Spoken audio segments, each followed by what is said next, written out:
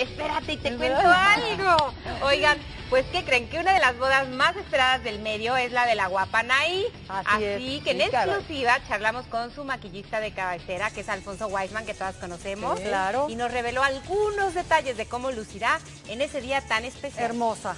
El chisme. Bueno, a Anaí en específico, a ella le gusta mucho resaltar sus ojos.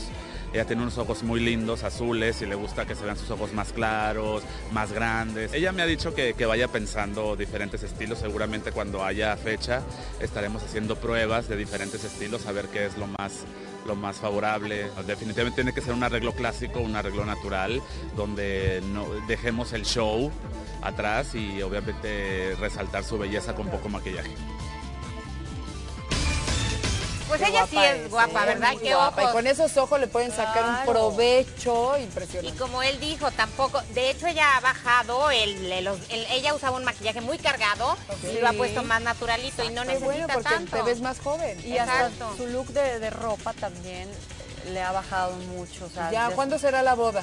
Pues es que hay Muy muchos rumores, esa que- boda, pero ya ¿eh? está a la vuelta de la esquina, ¿eh? Yo Pues creo sí, que que julio, agosto no pasa. Que nos ¿Verdad? inviten, que nos ¿no? inviten. Oigan, por otro lado, la que fue víctima de la delincuencia